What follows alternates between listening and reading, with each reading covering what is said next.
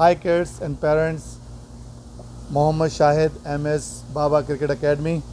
Uh, now we want to talk about the same thing.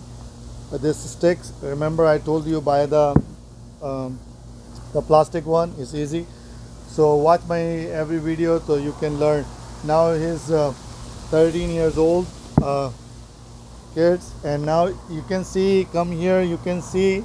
Um, he he has a totally different stand. He like to stand very straight foot. The box we made it is not for him because he like to play like that. So it's okay. Whatever he comfortable so he can play like that.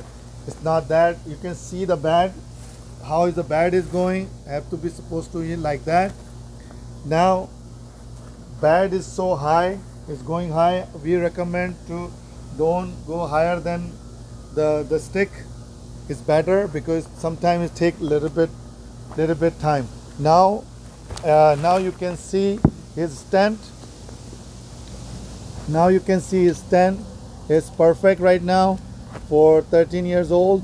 So now we want to tell him to use this stick to learn cover drive and straight drive. So now he want to do it. Is a covered straight drive. We will tell them the same thing one and two. So uh, one You- make sure you have to you have to cross this line this sticks right? So because we're not doing uh, uh, front foot defense. We drive we're driving the ball. So let's do it. One two. Did you see that he touch it this stick? So there's a little bit timing is gonna be because what's gonna be happen the ball will touch here or here you know in, it's not gonna be in the middle.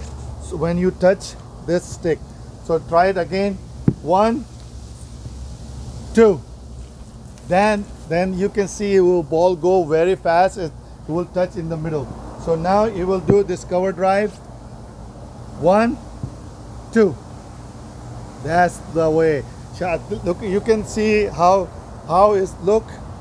Um, you can come this side you can see how it look.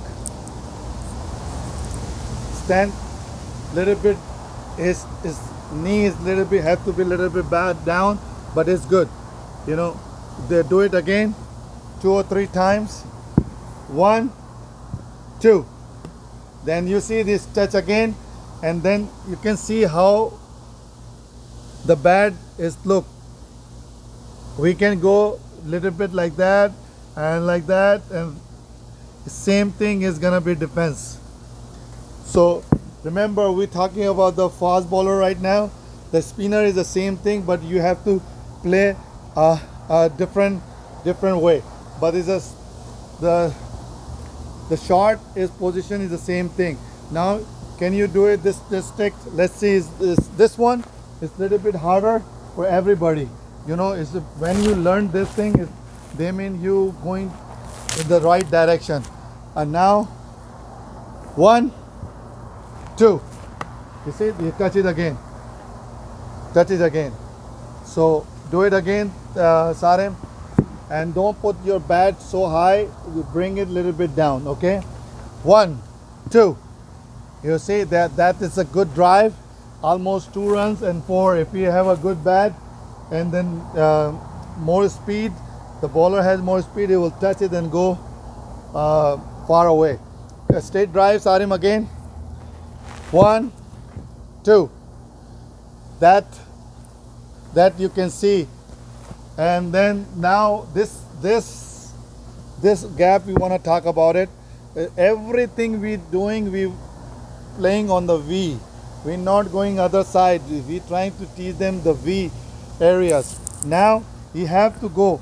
If he want to play this shot he have to stand a little bit different way to play the shot. So now Sarim one ball is coming from there Sarim. Okay? One two.